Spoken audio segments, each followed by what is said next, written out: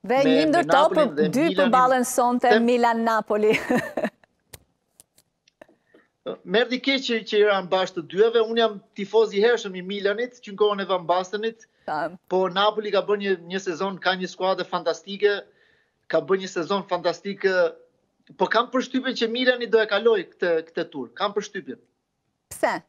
Ka më shumë eksperiencë në këto ndeshje. Eksperienca e Champions League-s. Milani e ka në gjak, e ka e ka në ADN Champions League-n, kështu që ka të bëjë shumë edhe edhe ADN-ja e e, e skuadrës.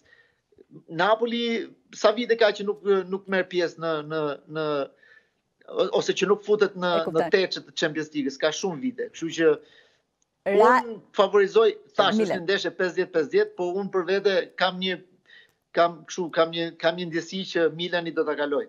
Real Madridi, Chelsea?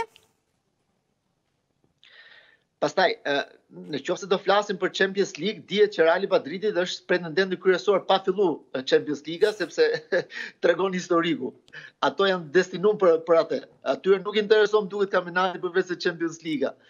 Ë Plus që e pamë ç'i bëri Barcelonës ndeshjen e kthimit të Kupës, ça janë në gjendje të bëjnë ajo skuadër edhe kur nuk janë në super formë.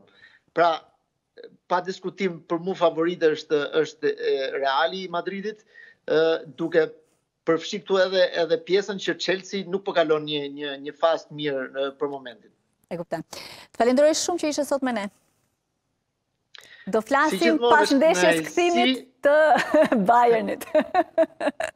Patjetër, është kënaqësi. Nëse ka fituar Bayerni gjithmonë. Falimderit, të uroj një ditë të mbarë. Gjithashtu, falimderit shumë.